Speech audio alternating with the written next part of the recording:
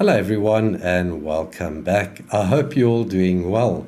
We're looking at an object that I spotted in a rover Curiosity photograph taken on Sol 4205.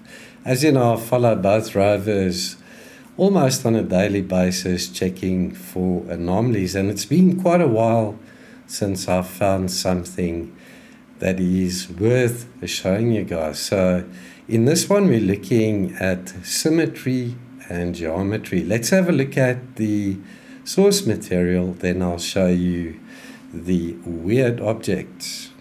So this photograph was taken by the Mastcam or Mast Camera Sol 4205 quite recently on the 4th of June 2024.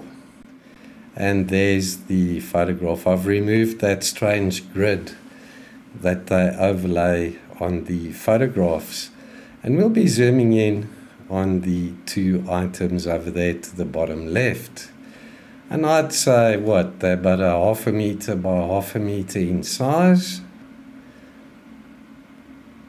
And it looks like two symmetrical blocks or slabs that are stacked on top of each other. Look at the uniformity in the width and the thickness of these two very, very similar blocks. The 90 degree angles to them as well. Here looks almost like it's been machined. But how's this, folks? How long has it been now since we've seen something as intriguing as this in rover photographs. So let me know in the comments below what you think of these two blocks. They're very similar in size and shape. Good natural geology, erosion, wind erosion, water erosion have caused this?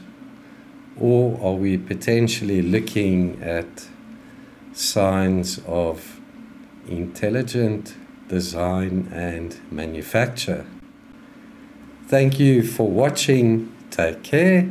I'll see you in the next one soon. Cheers for now.